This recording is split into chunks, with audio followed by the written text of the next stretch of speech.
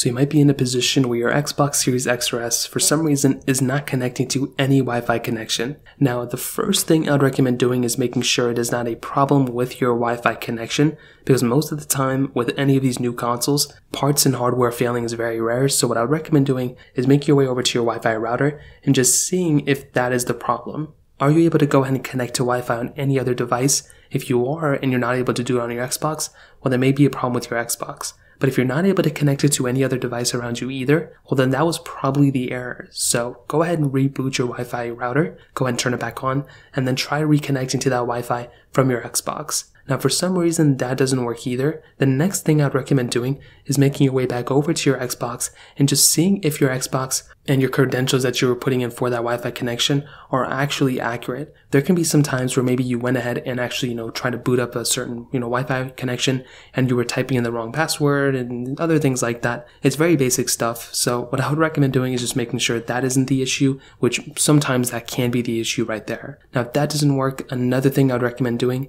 is trying to actually plug in a ethernet port an ethernet, you know, cord to your actual Xbox from your Wi-Fi router or, you know, a port from your bedroom or whatever and seeing if you can actually go ahead and update your Xbox there. Because if a Wi-Fi connection isn't working, most probably an ethernet connection will work. So go ahead and try connecting to an ethernet port and try updating your Xbox there. Another thing you can do before trying to do that is to power cycle your Xbox. So completely power down your Xbox and then go and turn it back on and go and take a look and see if that works If that still doesn't work, you can try, you know, trying to see if you can update your Xbox going from there. You can try a different Wi-Fi connection you have one around you. But those are pretty much the main ways to fix it in my opinion. If you have any other thoughts or questions, please let me know in the comment section below. Hit the like button, that would mean so much, but definitely hit that subscribe button. More importantly than everything else, I love every single one of you guys. Hopefully I'll catch you guys in the next video. Peace out till then.